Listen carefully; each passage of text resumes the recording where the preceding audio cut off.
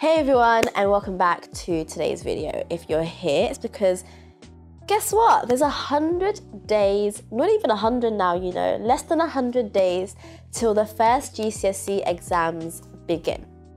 Which means it's just gonna fly by and before you know it, you've finished your GCSE exams.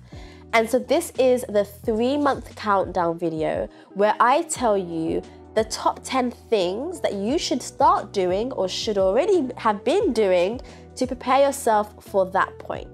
Remember that, and this is going to be the mum in me talking, but remember that your friends may not be saying that they're doing these things, but trust me, when they get their results on results day and it's a lot higher than yours and you're questioning, how? It's probably because they were studying and revising at home when you thought they were just chilling. Let's be completely honest. Because that's what we all did. We all said, ah, we didn't do anything at home. Oh, we didn't do any studying. And then guess what? We popped out with an eight and a nine. So, to start off with, the number one tip is to start revising now. Now, like, I don't even know how to say this in a more clearer, in a more understandable way, but there has to be some sort of revision structure or just something that has started to happen at this point. That's not hardcore revision, that's not revision timetable, that's not, you know, studying eight hours a day. I'm saying some sort of revision, some sort of going back over your information from year 9, from year 10, from whatever, from the earlier modules that you've done has to have begun happening at some point around this point. And I think the February half term coming up next week is a really good starting point for that. The second thing that I would recommend doing is to start using exam papers if you're not already and using the mark schemes. So exam paper, mark scheme, hand in hand, use them together all the time and start using them as early as possible. A lot of the times like you always wait, you wait until you finish studying all the content before you start using exam papers. You don't have to do that. There's websites where you can find exam papers only for a specific sub like topic area. So if you're if you're looking at maths, you can find exam papers uh, or exam questions only for like factorizing or only for vectors, for example, so you don't have to do a whole paper. But I would still recommend doing a whole paper, even if you haven't covered all the content, because it gets you practicing what could come up. And that topic might not even come up, so you might actually be able to do the whole paper anyway.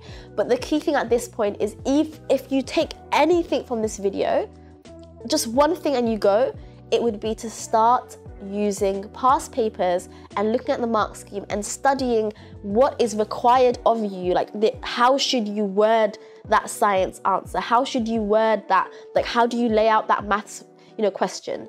That is what you should be doing at this point my third tip is to use a retrospective revision timetable. And this is spoken about before on YouTube, and I'll leave uh, two good videos actually that I've watched about this down below so I don't have to go through all over again. But it's essentially where rather than having a timetable where you're like, okay, I'm gonna do biology, I'm gonna do maths, I'm gonna do a bit of chemistry, and you just kind of like have the subjects there, rather you're actually dictating exactly what your, like all your modules are, are, are laid out for you. So you say how you feel about it, like how confident you are about it, and then once it's read, like you you know it's red, so then you don't have to go over it again. And then you, you let's say the next topic is amber, then that's something that you might want to come back to next time you're doing a revision session, and so on and so forth. So it's a nice way of having a timetable where it's dictated rather than just like, I have to do biology, so I'm going to do biology, rather it's dictated by these are my weak subjects and these are my okay subjects, and so I'm going to choose the one that is required of me now based on what I actually need to learn. Okay, the fourth thing that I recommend at this point is to start revising or like start teaching a friend. Um, and this is actually a technique called the Feynman. I don't know how you pronounce it, but the Feynman, Feynman technique. Um, and it's essentially the technique where you teach someone else information that you know in order to like solidify it into your memory. So for example, if I don't understand, I'm going back to maths again, if you don't understand how to factorize, then learn how to like just quickly look at a textbook, look at the steps of how to factorize, and then try to explain that to somebody else. And it may seem like, but I don't even understand it myself. But actually, when you explain it to someone else, you're kind of having to justify every step to yourself. And so you realize, oh, that's why, I, that makes sense. Yeah, that makes sense why I did that. And also it becomes a conversation. So you and that other person get into a dialogue about why you're doing this step. And then guess what? When you're in that exam and that question comes up, you're like, oh yeah, I talked to my friend and this is how I did it. And it, I'm not even joking that is how I got through my exams. Like I taught it to people, anyone who would listen. I would teach them things. Um, and when I went to the exam and I saw a similar question, I know it because I've done it before. Like I've done it and I remember saying it out loud as well. The fifth thing is, and this is something that you like, I don't hear mentioned a lot with GCSE, but it's you have to be a bit smart with this, is to use the 80-20 rule. It's essentially saying that 80% of your output is a result of 20% of your input. So for example, in maths, you learn all these topics like factorizing and you learn fractions and vectors and shapes and all of these things. Um, and then you actually come to the exam and nothing comes up. And you know what? It happens and that's fine. However, you can be smart, and a lot of this comes down to how much past papers and how many past paper questions that you do. Because you will notice that a similar like similar topics come up every single time. So like in every single exam, there will be a question that asks you to expand brackets. So like you need to know that.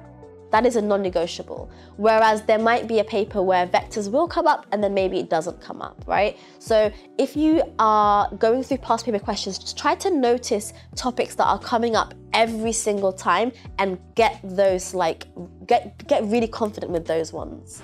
Number six, try to find resources that allow you to do quick active recall. So that means that you wanna find resources that allow you to do like 10 minutes of work or five minutes of work rather than like only resources that are like deep work, so an hour or two hours, like an exam paper, for example. Because right now, like you might have an hour to do of work, but you may not have an hour, so then you think, oh, I don't have that, I've only got 10 minutes, like it's not enough time. Whereas 10 minutes is enough to do a quick um, five a day sheet from Maths Genie, for example, where it randomizes five questions from five different topics from your from your um, syllabus or from your exam papers and then you can quickly do those five questions in five minutes and that's a quick bit of revision. So even if you do nothing else you've done that at least right? So that's a really nice way of making sure that you're getting active recall into your study sessions and into your days at a relatively early point. Like you know you've got three months left it's still early enough, but but late enough to be a bit urgent, but still early enough to be able to do a few things on the side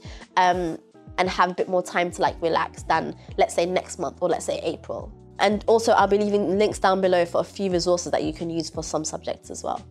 The seventh thing that I'd recommend, and this is one of the reasons, and this is what I, I notice from students that always get the top grades, and um, what I used to do as well, is starting to go to school a little bit early from this point. So, you know, normally you get to school and you go straight into, you know, into form class or whatever, but now you want to think a bit more about like trying to be there a little bit early and getting that exam mindset okay? Because it takes time to get into that mindset. So let's say you were um, in it's exam day, what would you do? You'd get there half an hour before, you'd get an hour before. But if you're not used to that, it, it, might be a bit difficult to adjust. So remember, we're getting used to this point, so nothing's difficult for you. Everything's, you know, will be simple for you when it, when you come down to having those exams. So start to get to school like maybe half an hour early, maybe 45 minutes early. Go to the library; they're usually open, and then just do like maybe an active recall, maybe a five a day sheet, maybe like read through the notes or the textbook that you're reading in whatever subject it is. Maybe just read a book.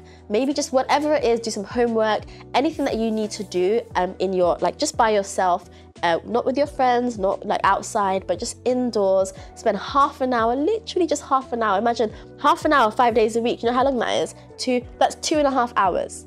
That's a whole morning, essentially, of extra time that you've gained just by doing half an hour a day, like in the morning. It's amazing how much time you can save and how much more work you can get done using your time a bit, more wisely. Okay, my last but definitely not least tip is to start thinking about exam technique. And by that, I mean things like um, what do you do when you're actually in the exam hall and when you actually have the paper for whatever subject it is in front of you, right? Um, a lot of people like don't talk about the fact that exam, the grade you get isn't just about knowing the information, but also how you answer questions, the way that you answer questions, the things that you do um, in the exam, the way that you are, the way that you sit, the way that you like hold your pen, the stationery that you have, like all of those things make such a difference and add up to those little points that you lose. So for example, um, a technique, like some techniques might be things like checking over your work. So whenever you finish a, a, question, even if it's not an exam question that you're doing, even if it's in a textbook or you know, your teachers asked you, double check your work. Get into the habit of you finish the work, go back. So you're never you're never in a situation where you finish the work and you close the book. You should always be finish the work, go back and check. Um, redoing some questions. So one thing that I used to like to do, and this would save me so many marks, is if I finish a question, I would redo the first bit of the question, like the mental bit in the beginning. So like if there was like an addition or like some sort of mental maths question, I'd redo that bit only um, just to make sure that that was the right track. Okay, so the rest should be okay. Um, looking at your numbers or looking at your answers and saying, does it make sense? Does it make sense for this number to be that big or that small? Does it make sense for this answer to be that long or that short?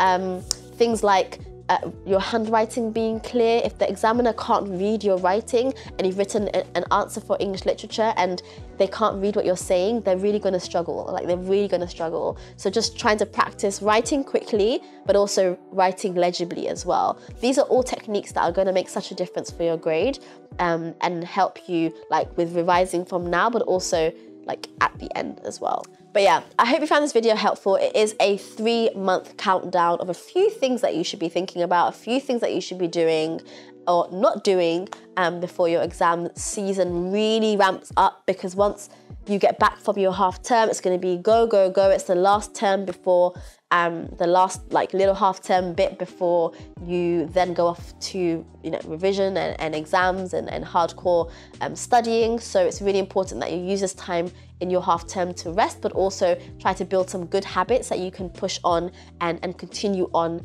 um, when you go back in uh, after your half term. So I hope you found this video helpful and I'll see you guys in the next one. Bye.